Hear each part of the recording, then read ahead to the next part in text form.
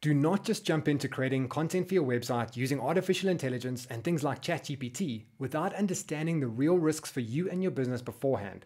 And that's what I'm going to cover in this quick training video. And I got six points. The last two are pretty serious.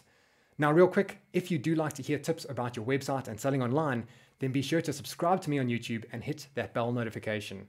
All right, let's get into the risk number one, which is the element of removing creativity from the content that you're putting on your website.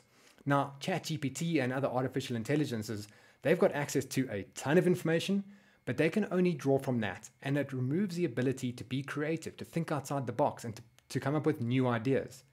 The second risk is plagiarism and just downright incorrect information. Now, it's supposed to be unique, but it is pulling from resources, and there is a real risk of plagiarism. And it's hard for you to test every single piece of content if you are taking a lot from that. Now, if you've played with these systems before, you've probably spotted that there is incorrect information coming out of it. And you don't want to be publishing wrong info on your website and claiming it as your own. That's just not going to work out for you. Risk number three is the lack of the human touch. Now, there is a lot that this artificial intelligence can do, but it cannot show compassion and it cannot add the human element, which is often why people are drawn to you in the first place. The fourth risk is the inability to adapt to your business's unique voice. As I speak, I've got a particular way of addressing, and our content often comes across in that way. But if you are just pulling info from artificial intelligence, then that is removed, and your personal brand or your brand of your website and the tonality that you communicate in, it's entirely lost. And that's part of your company's branding that you really want to hold on to. Now, the last two, these are the serious ones. The second to last one is that there is a real risk to your SEO rankings in the future. Now, because of the massive information that's being created by artificial intelligence, other search engines like Google, they're looking at this and considering adjusting their algorithms to downrank the SEO of websites that create content using the software. And their reason actually kind of makes sense.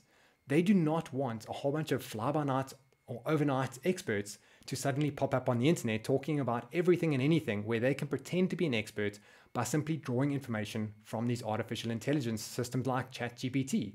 And that they do not want. So they want to protect the real creators by downranking the SEO of companies of websites that are hosting content from the system.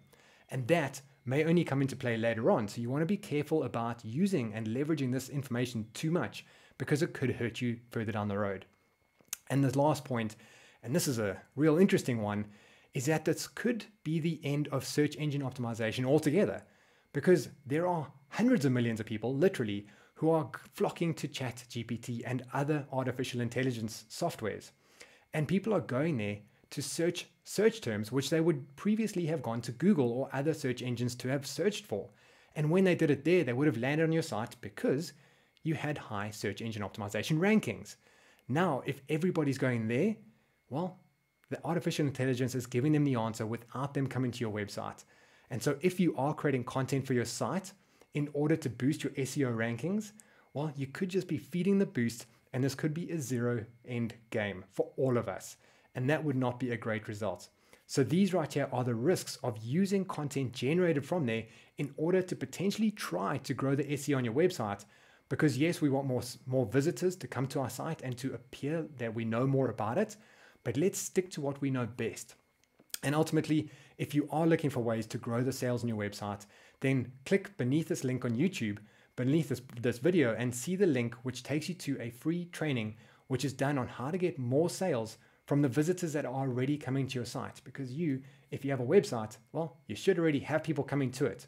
And if you can increase the conversion rate, then you will get more sales from the same amount of traffic without having to go and get more traffic from SEO or paid ads or anything else. So if you want to learn how to get more uh, more business and more sales from the people already visiting your site, then go beneath this video on YouTube and click that link and go and get that free training right now.